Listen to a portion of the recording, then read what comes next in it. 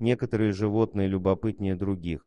Пожалуй, одним из самых любопытных, но осторожных животных является олень. Одна семья заметила оленя в своем дворе после того, как снеговик, которого они только что слепили, вызвал любопытство парнокопытного млекопитающего, а то, что затем попало на камеру, заставило всех смеяться. В зимние холодные месяцы одним из самых популярных и веселых развлечений является лепка снеговика. Весь процесс, начиная от катания снежного шара по снегу, чтобы сделать тело и голову, создание глаз, носа из морковки и улыбки из древесного угля, забавное времяпрепровождение, в котором обычно задействованы все члены семьи. Для меня появление снеговиков во дворах – это знак того, что зима наконец наступила. Именно этой веселой зимней традиции последовала семья из нашей истории после того, как в их городе выпал снег.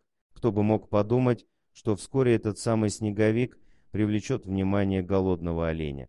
Зимой, как правило, в рационе оленей присутствуют в основном ягоды и орехи. Они пытаются найти продукты с высоким содержанием питательных веществ, которые можно легко переварить.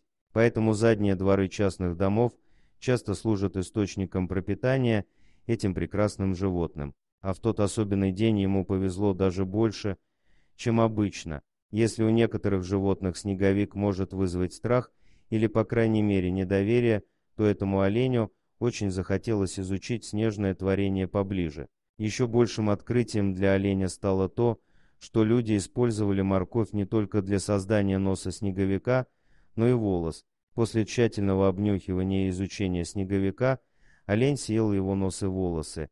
Но даже после того, как все морковки были подъедены, олень не собирался покидать место кормежки. Может, в снеговике было спрятано еще что-нибудь вкусненькое, Олень решил тщательнее исследовать снеговика и, чтобы убедиться в том, что ничего не упущено, сбил его голову на землю. Так олень смог получить доказательство того, что все съедено и не осталось ни кусочка от того, чем можно было бы полакомиться. Дорогие друзья, если вам понравилось видео, поставьте лайк, а также подписывайтесь на канал, где найдете еще много интересного.